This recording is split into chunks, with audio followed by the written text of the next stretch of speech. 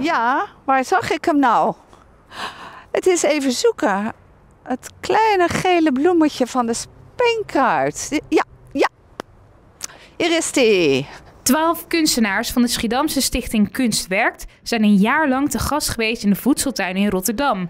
Andy Weringa is een van deze kunstenaars. Zij liet zich inspireren door bloemen en onkruid uit de voedseltuin. Ja, en dan heb ik hier dat leuke bloemetje. Maar ja, ga ik dan zo'n groot tekenvel zeg maar nemen of een kleinere? Ik denk deze.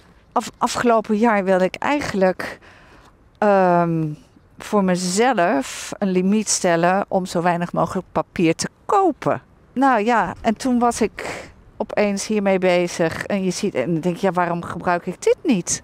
Door de wind gaat dat bloemetje zijn eigen richting op.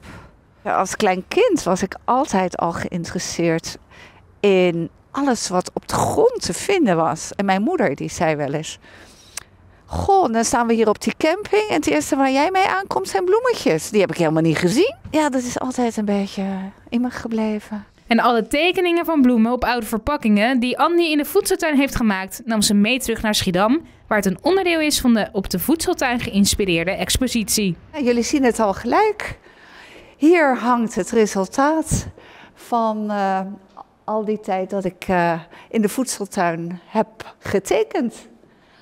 En uh, kom dichterbij, want we gaan gluren in die verpakkingsdozen. Want kijk, ik heb er overal plastic opgeplakt.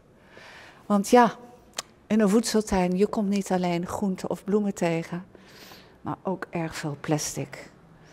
En uh, we zijn natuurlijk uh, met elkaar daar wel van bewust.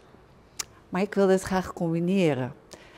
En toen, wat ontstond er? Een gluurdoos. En ja, hier moet je echt veel dichterbij komen om te kijken hoe ik dat allemaal getekend heb en hoe het allemaal in elkaar zit. Is dat niet ontzettend leuk om te zien?